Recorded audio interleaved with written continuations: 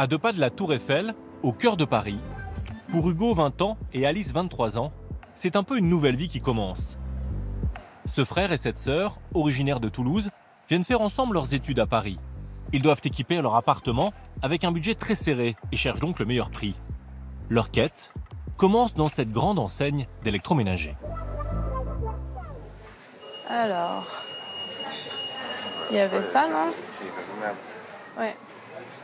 Ça, c'est pas très cher. Ils veulent d'abord une cafetière filtre Euh, Tu veux que je prenne aussi celle-là? Bah ouais, au cas où. et repèrent celle-ci à 36,99 euros. T'as pris le prix aussi en Oui, oui, photo c'est bon. Ok. Là, on a qu'à aller voir, mais du coup, euh, Pour le frigo, ouais, ouais. le frigo. Et ils ont donc également besoin d'un réfrigérateur. Donc nous, on a vu celui-là. Euh, mais il n'y a pas de congélateur dedans. Donc si vous aviez l'équivalent avec un- une petite partie congélateur, ce serait vraiment bien en fait. D'accord, avec un petit département freezer ou congélateur. Un peu comme celui-là, mais euh, en moins cher si vous avez. D'accord. Regarder. Elle aimerait dépenser autour de 100 euros pour un petit frigo avec freezer. Alors, de toute façon, pour aller dans vos budgets, j'aurai un petit réfrigérateur bar qui sera à 95 euros. Sinon, on passe au-dessus des 300 euros. D'accord. Sur les petits formats, c'est toujours plus compliqué. Ouais, d'accord. Et la livraison, elle est incluse. euh, La livraison, sur les produits en dessous de 300 euros, on est sur des livraisons payantes à 29 euros. Ok, d'accord. Pour l'entrée de gamme, avec la livraison, ils en auraient donc pour 130 euros, ce qui fait un ticket à Alice. C'est quand même 30 euros pour euh, une livraison. Donc ça fait vite monter le prix. Enfin, c'est quasiment un, ouais, c'est un tiers du prix. Donc euh, ça, ça fait quand même une grosse augmentation. Ouais. Merci. plus qu'à vous souhaiter une bonne fin de journée. À vous aussi. Et à bientôt. Au revoir. Au revoir. Ils espèrent trouver un peu moins cher. Et plutôt que de faire le tour de tous les magasins, ils rentrent tranquillement chez eux. Ils se partagent à deux ce 30 mètres carrés qu'ils doivent équiper. Qu'on cherche euh, de manière assez urgente, parce que sans frigo c'est un peu compliqué, c'est le frigo. Donc on a cet espace-là, ce qui fait qu'on est limité quand même en taille et euh, surtout en budget. Pour trouver un frigo dans leurs moyens, ils vont finalement avoir recours à un comparateur de prix. Euh, attends, la hauteur on a dit moins de 85 cm. Et en haut tu peux classer par prix. Ah oui, on met les moins chers en premier. Ouais. Alors, donc, euh, Celui-là il a l'air pas mal. oui, mais est-ce qu'il est... Et il y a la livraison incluse. euh, 119,99 euros avec la livraison, de 30. contre 130 euros en magasin. Et on gagne 10 euros pour un produit qui correspond davantage à nos attentes. Oui, en plus, voilà, Donc ça vaut vraiment la peine. ça c'est sûr. Ils trouvent aussi une cafetière à 18 euros sans la livraison. Les comparateurs de prix.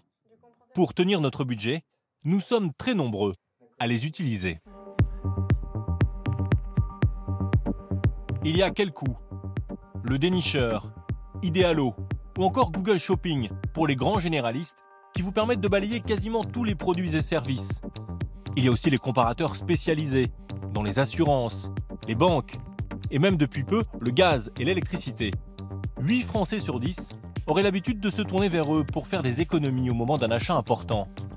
Alors peut-on leur faire confiance? Sont-ils indépendants des marques? Les comparateurs sont-ils les alliés ou les ennemis du consommateur pour faire de bonnes affaires?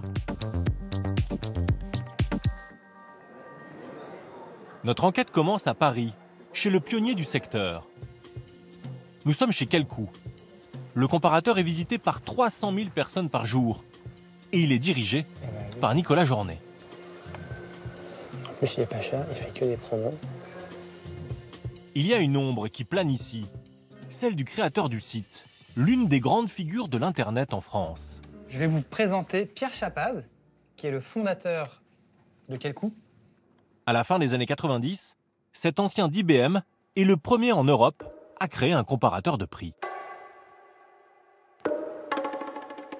À l'époque, en 99, euh, on était en plein boom euh, d'Internet. Le e-commerce venait d'arriver sur, euh, sur le marché français. Euh, et donc, le nombre de, e-commerçants était en pleine croissance. Ça permettait vraiment de guider les internautes, effectivement, dans leurs recherches, dans leurs achats, en trouvant des prix moins chers, chose qui était assez fastidieux à faire euh, dans le monde physique. En 2004, le comparateur de Pierre Chapaz est revendu 475 millions d'euros. Il appartient aujourd'hui à un fonds d'investissement anglais. Alors comment ça marche? À la base, il y a un programme informatique très sophistiqué qui permet de balayer le web et de recenser les prix des e-commerçants. Ce sont les lignes de code de notre algorithme, qui est le socle de notre, entreprise, et qui permettent euh, d'améliorer la pertinence et la rapidité de réponse pour euh, les, résultats de recherche de nos, de nos internautes. On utilise les données envoyées par nos marchands, on les retraite, on les simplifie pour pouvoir les retranscrire à l'écran de façon euh, simple pour les utilisateurs. Alors cette belle machine permet-elle de balayer tout le web et de ne rater aucune bonne affaire? En fait, pas tout à fait, vous allez comprendre pourquoi. Contrairement à ce que l'on pourrait croire, chez Quelcou, la plupart des salariés ne sont pas là pour améliorer la puissance informatique du comparateur. Je suis commercial. Je suis commercial. Je suis commercial. Moi, je suis commercial. Directeur commercial.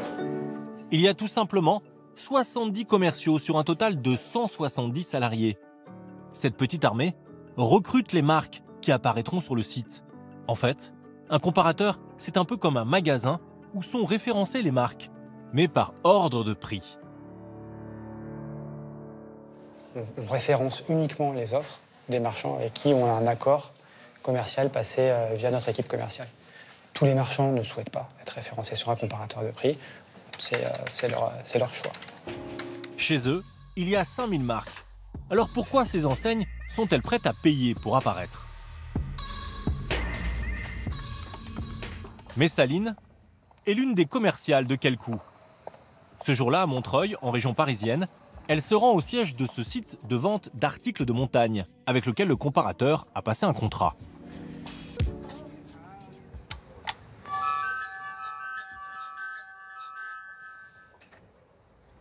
Bonjour. Bonjour Julien, ça va Bonjour, bienvenue. Merci. Super. Julien Jérémy, l'un des patrons du site, voudrait booster les ventes de quelques-uns de ses produits, dont cette veste de ski. Ok. Euh, là, tu as une veste de ski euh, de chez Ok. un modèle qui s'appelle la 724. Je peux l'enfiler. Hein, Alors si- attends, je me lance. Tu vas voir le. Hop. Alors, c'est le modèle homme, mais. euh, Elle sera en vente à 399 euros. Il faudrait aussi écouler les stocks de cette tente pour glacier Format euh, deux places, donc qui est le, le gros du marché. à 500 euros. Ça a l'air assez confort. Hein, Il n'y a, pas de- y a pas de risque de pluie, il n'y a, pas a tout ça. Donc, Hein effectivement, Écoute, euh, on est plutôt pas mal. hein, Je vais rester ici, moi. Allez, salut. Ces produits vont se retrouver sur le comparateur et quand les consommateurs les choisiront, ils seront immédiatement renvoyés vers le site de Julien. Voilà pourquoi il a passé un accord avec eux. On a une base de clients qui revient, qui est régulière, qui fait du bouche à oreille. On a aussi besoin d'être découvert par plein d'autres gens. Le marché est énorme. Et donc, on a besoin d'outils comme le vôtre parce que bah, spontanément, la plupart des clients vont sur des comparateurs de prix. Évidemment, cette visibilité supplémentaire n'est pas gratuite, bien au contraire. Bah, comme tu le sais, on a un business model, un modèle économique euh, sur le, qui fonctionne au coup par clic. Euh, donc, euh, sur, euh, sur- en moyenne, on est à 19 centimes sur ce type de produit. À chaque fois que quelqu'un va venir par votre intermédiaire, euh, il y a une commission qui s'applique et, euh, nous, on a, on a gagné un visiteur de plus. quoi. Exactement, On a fait ouais. rentrer quelqu'un de plus dans notre magasin Voilà. virtuel. D'accord. C'est ça, c'est exactement euh, comme ça qu'on qu'on fonctionne. En moyenne, les marchands affiliés dépensent 3000 euros par mois pour figurer sur le site. En résumé, vous l'avez compris, quand vous utilisez ce type de comparateur, vous allez trouver la meilleure offre, certes, mais parmi les commerçants qui ont accepté de payer. Sur le site de Quelcou, c'est même écrit de manière très claire. Ce comparateur est une plateforme de référencement non exhaustif d'offres de sites marchands contre rémunération. Donc, tout est indiqué clairement, comme le veut le code de la consommation. Et c'est ce qui est imposé à tous les comparateurs de prix. En effet, depuis 2016, la loi Hamon précise que tout opérateur de plateforme en ligne est tenu de délivrer aux consommateurs une information loyale, claire et transparente. Alors, est-ce toujours si clair que ça pour le consommateur? À Paris, à deux pas de la place de la République, On se fait notre point bi-hebdomadaire, hein? comme convenu. nous sommes chez Assurland, le premier site comparateur d'assurance. Olivier Moustakakis en est le fondateur et le directeur général. Il fait le point avec ses équipes marketing. Et, comment on avance par rapport à ça? Je ne sais pas ce que vous en pensez, euh, mais on a réfléchi à mettre euh, le panel euh, plutôt à gauche avec le wording plutôt à droite. On peut prévoir une version comme ça et la tester Oui. pour voir si on a des stats euh, de performance plus faire, meilleures. Leur site est de plus en plus fréquenté. Il faut dire qu'ils promettent d'importantes économies, jusqu'à 33%. D'ailleurs, sous nos yeux, l'un des commerciaux va faire en sorte de tirer les prix vers le bas. Bertrand Geoffroy a remarqué que l'une des compagnies d'assurance qui est en contrat avec le comparateur a un problème de tarif. On note un décrochage de son positionnement tarifaire, c'est-à-dire que son offre est moins compétitive, et tout d'un coup, depuis le mois de septembre. Il va l'appeler pour l'alerter et lui demander de faire un effort. Ouais, bonjour Bertrand. Écoute, je t'appelais, c'était pour faire un, un petit point sur euh, les performances de ton offre sur, sur le panel. Il y a eu un décrochage au mois de septembre. D'accord. Alors, je voulais savoir si d'une part, toi, tu avais fait évoluer ton tarif euh, récemment. Écoute, non, c'est plutôt pas une bonne nouvelle en fait, ce que tu me dis. D'accord. Bah, je pense que j'ai une explication. Euh, on a récemment intégré euh, euh, un grand nom de l'assurance euh, sur le panel et euh, je pense que c'est euh, ce nouvel acteur qui vient manger un petit peu des parts de marché chez nos autres partenaires. Ouais, Donc il faudrait voir si toi en interne tu es en capacité d'adapter ton tarif Mhm. euh, pour essayer de, de contrer ça. Ouais. Eh ben, merci à toi alors. À Aucun bientôt. problème. À très bientôt. Merci de ton Au- appel. Au Au revoir. revoir. Le comparateur travaille comme ça avec 78 compagnies d'assurance, contre rémunération. Et d'ailleurs, comme le veut la loi, ils sont clairs avec le consommateur à chacune de ses recherches. Cette liste ne représente pas l'ensemble des offres du marché. Assurland ne perçoit pas de rémunération, sauf si vous choisissez l'une d'entre elles. Mais il y a une autre information qui n'apparaît pas forcément au premier regard. Ce sont les noms de certains de leurs propriétaires. Nous avons demandé à Olivier Moustakakis de nous montrer l'endroit où c'est mentionné sur son site. Il faut juste aller sur là où elles sont indiquées, c'est-à-dire euh, là où elles doivent l'être dans les mentions légales. Vous avez tout le détail. Pour cela, il faut cliquer en bas de la page d'accueil. Et en effet, au milieu de ce texte, on peut lire Les utilisateurs reconnaissent avoir été informés que le groupe Covea détient 10% du capital. Et si on fait une petite recherche sur Internet, on se rend compte que Covea est un groupe d'assurance qui rassemble la GMF, MMA et la MAF. Alors le fait que ces trois compagnies soient présentes au capital du comparateur a-t-il des conséquences sur le fonctionnement du site? Ça y met un peu un doute quand même pour le consommateur. Bah, ça n'est pas de doute parce qu'on affiche tout le monde et tous les gens qui nous restituent. Au contraire, c'est une force parce que ça permet d'afficher des marques connues. Euh, voilà, donc on a un panel qui est très large et représentatif, donc qui permet à l'internaute de trouver chaussures à son pied. Selon le directeur général, toutes les compagnies d'assurance avec lesquelles il travaille sont traitées de la même manière.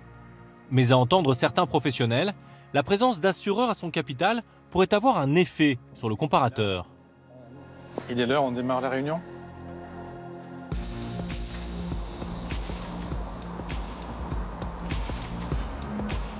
À quelques kilomètres, dans la capitale, nous arrivons cette fois-ci chez Fluo. Fred, on attend combien d'utilisateurs? On va se situer dans les, je sais pas, je dirais 2000 utilisateurs sur euh, les 4 jours, avec un gros pic sur la première journée, bah, comme on l'a vu dans les campagnes précédentes. on renforce l'équipe euh, de tes experts. Oui, Euh, on- oui, on va renforcer l'équipe et puis on va. Cette start-up propose une application qui passe en revue tous vos contrats d'assurance pour faire le tri et éventuellement en remplacer dans le but de dépenser le moins possible. Et le créateur, Jean de Casté, est critique envers Assurland. Allez, on y va. Ouais. Devant nous, il va faire semblant de rechercher sur le site un contrat d'assurance auto. 50% de bonus euh, depuis 3 ans. Voilà, euh, j'ai fait zéro sinistre. Et je vais prendre du tout risque. Et voilà le résultat. MMA, la MAF et la GMF sont dans les cinq premiers. Ces trois assureurs, 1, 2 et 3, font partie du même groupe que euh, le comparateur que nous venons d'utiliser. Selon lui, les compagnies d'assurance au capital du comparateur et les autres ne seraient pas tout à fait sur un pied d'égalité. Quand vous avez un- des assureurs qui possèdent un comparateur, les assureurs qui ne possèdent pas de comparateur peuvent se sentir un peu euh, lésés parce qu'effectivement, tous leurs secrets de fabrication sont mis à disposition de leurs compétiteurs. De, de garantie. Mais Jean de Casté n'apporte pas de preuves pour appuyer ses dires. Et de toute façon, le consommateur n'est pas lésé. Quoi qu'il arrive, il aura toujours au final le prix le plus bas parmi les assurances qui apparaissent sur le site. Des comparateurs qui sont la propriété de marques. Ou bien encore qui proposent seulement les produits des enseignes qui ont payé pour apparaître. Alors y a-t-il un autre modèle? Un modèle de comparateur plus indépendant et qui prenne en compte l'intégralité de l'offre du marché. Dans les environs de Montpellier, un homme pense l'avoir trouvé. François Cancès aime profiter de son extérieur et faire des barbecues.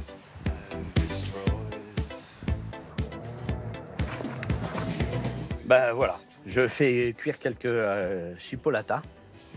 Il a réussi à se payer ce modèle d'une marque célèbre qui était affichée à un certain prix en grande surface. Oh, c'est un barbecue euh, qu'on avait autour des euh, 99 euros, histoire de pas passer la barre euh, de, la, de la centaine. Et c'est un barbecue euh, de mémoire euh, que j'ai dû avoir autour de euh, 69 euros. Donc ça fait déjà une bonne, euh, une bonne réduction. Ce petit entrepreneur arrive aussi à assouvir sa passion pour la spéléologie à moindre frais. Donc ici, par exemple, la tenue que j'utilise à chacune de mes sorties. Pareil, 25% euh, moins cher. euh. Il l'a eu aux environs de 105 euros au lieu de 150. Très bonne affaire également pour cette lampe frontale résistante et étanche. Ça, c'est une euh, lampe que l'on trouve dans le commerce autour de 350 euros. J'ai eu effectivement cette euh, lampe euh, autour des euh, 220 euros. Et pour faire ses bonnes affaires, il n'a pas eu à passer des heures devant des comparateurs. Il ne s'est pas donné beaucoup de mal.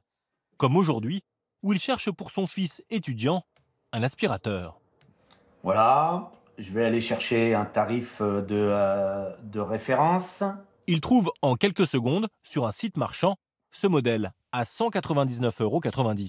Et comme il a installé sur son ordinateur un comparateur d'un nouveau genre, il a immédiatement cette fenêtre qui apparaît. Vous trouvez ça trop cher, je le veux moins cher. Demandez au shopper de vous trouver un meilleur prix, c'est leur spécialité. Automatiquement, ça va m'envoyer vers le site. Demande publiée, les shoppers sont sur le coup, vous recevrez leur trouvaille par email. Alors qui sont ces shoppers?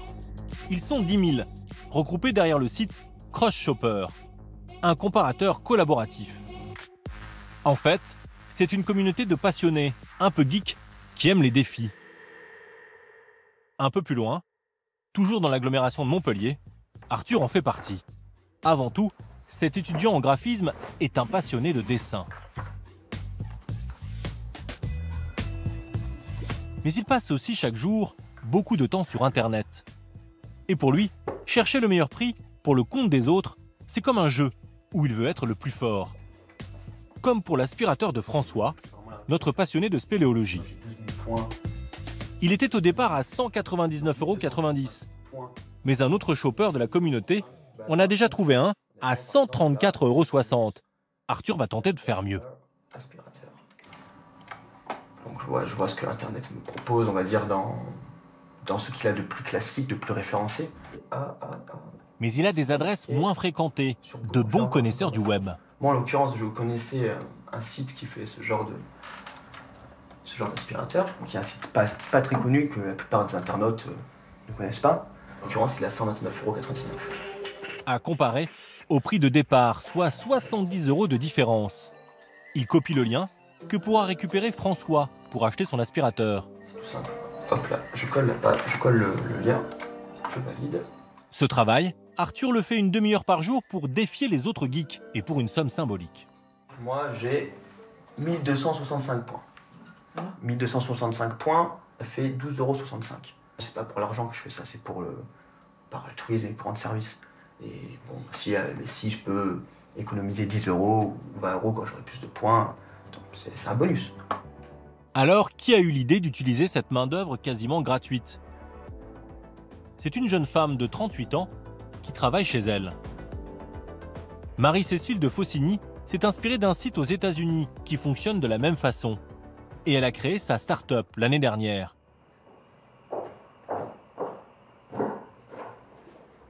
Pour faire rentrer de l'argent, elle a, comme les autres comparateurs, des marques qui payent pour apparaître sur son site. Mais avec une nuance. Ce qui est important à savoir, c'est qu'on ne limite pas les résultats sur CrossShopper aux annonceurs avec qui on a des partenariats et qu'on laisse bien euh, toutes les réponses de la communauté, ce qui fait l'intérêt de notre service et ce qui nous démarque aujourd'hui sur le marché. Alors comment cela se traduit-il? Sur le site, il y a d'un côté les trouvailles des geeks qui ont, selon elle, cherché les bons prix pour les clients en toute liberté. Mais également un espace où apparaissent des bonnes affaires, mais cette fois-ci, les marchands ont payé pour figurer à cette place. Ce nouveau comparateur, créé il y a un an, a déjà été utilisé par 120 000 personnes.